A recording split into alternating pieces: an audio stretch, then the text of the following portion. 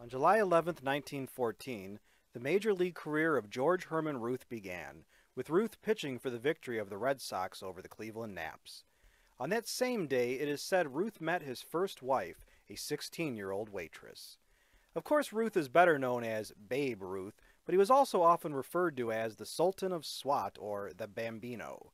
What you might not know is that his Yankee teammates usually called him Jidge.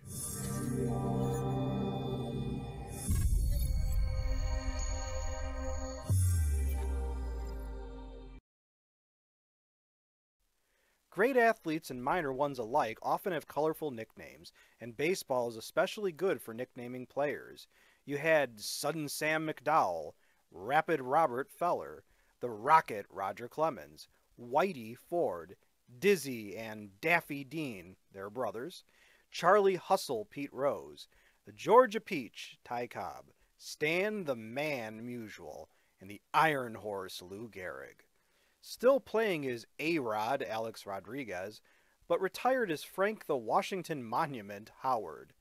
Hammerin' Hank Aaron was given an appropriate nickname, and Joe the Yankee Clipper DiMaggio was given one that recognized his grace.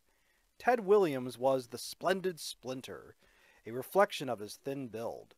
Leo the Lip Durocher was, well, lippy. Yogi is not the real first name of the Yankees' great catcher and manager, Lawrence P. Berra, and Cy Young was really Denton True Young. True? Willie Mays was known as the Say Hey Kid because, you guessed it, he said hey. Sometimes nicknames have a country flair, such as pitchers Jim Catfish Hunter and Jim Mudcat Grant. For some reason, pitchers seem more prone to getting nicknames. As far as country names, Enos Country Slaughter is a case in point. Basketball players have some pretty unusual first names anyway, but still they come up with some cool nicknames as well. You had Wilt the Stilt Chamberlain, aka the Big Dipper.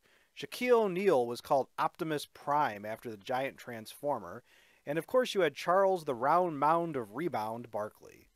Carl the Mailman Malone always delivered, and the great Oscar Robertson was the Big O. Pistol Pete Maravich was known for being a gunner, one who shoots a lot, and LeBron James is known simply as the King.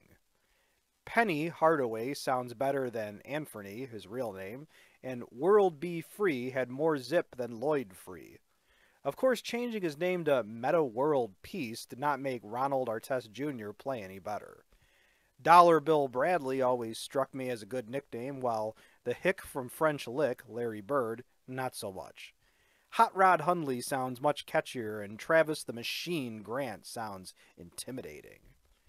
Football gave us some catchy names such as Dandy Don Meredith, Jughead Taylor, Ironhead Heyward, and The Juice.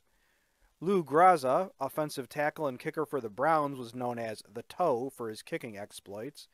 William Perry earned his nickname, the Refrigerator, for his immense bulk, and Mean Joe Greene deserved his bellicose moniker. Another football name I always liked was Cannonball Butler, the rugged running back for the Falcons.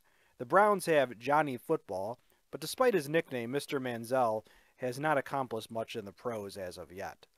Daniel Colt McCoy also threw balls for the Browns, but not with much success. Broadway Joe Namath won a Super Bowl, so I guess he deserved a good nickname. What are some of your favorite sports nicknames? Please let us know in the comments to this video. And if you like this video and would like to receive notification of new videos, please feel welcome to subscribe to History and Headlines. Your viewership is much appreciated.